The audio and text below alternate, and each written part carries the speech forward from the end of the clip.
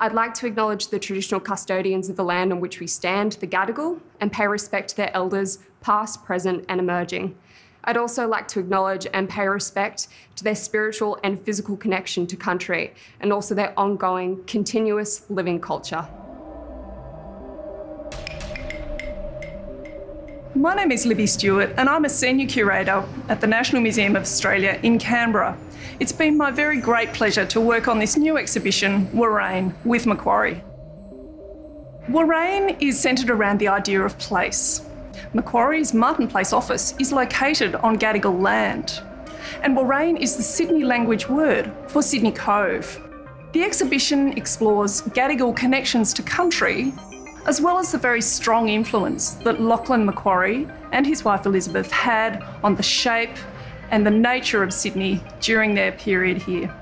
Acknowledging traditional practices, as well as showing respect to the traditional custodians of the land, is extremely important moving forward as a nation. The Indigenous content developed for this exhibition, Warrane, was developed in co design with the local Gadigal community. Through community engagement, the Davison family, who are Gadigal traditional owners of Sydney City, were selected by the community to be the face of this exhibition. The vision in designing this exhibition was to create an evocative, compelling, layered, atmospheric journey for visitors. And so, to achieve this sense of a journey, a number of illuminated blades cascade through the space, guiding you through a number of sub themes all related to place. These sub themes in the exhibition are caring for place, spirit of place, art of place, currency of place, and shaping place. Sydney Basin is actually a giant art gallery. Um, there's thousands of Aboriginal artworks um, scattered all around the basin. Some of the artworks you'll see here at the exhibition are um, stone engravings, uh, mostly of fauna. A lot of them are from the northern beaches, Ku-ring-gai, Chase National Park, um, Western Sydney, and also all the way out to Bondi as well. Sydney was in a fairly run-down state in 1809 when the Macquaries arrived, but Lachlan Macquarie, as governor, didn't waste any time in starting a new program of building and revitalising of the town centre.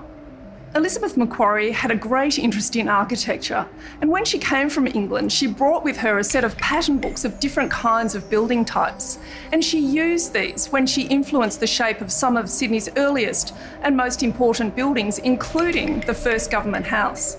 These pieces of dinner service were most likely used by the Macquaries during their time here in Sydney. And the fact that they're such fine porcelain with a beautiful pattern based on Japanese designs indicates their stature and place in Sydney society. Lachlan Macquarie was the first governor of New South Wales to introduce coins as currency, gradually replacing rum.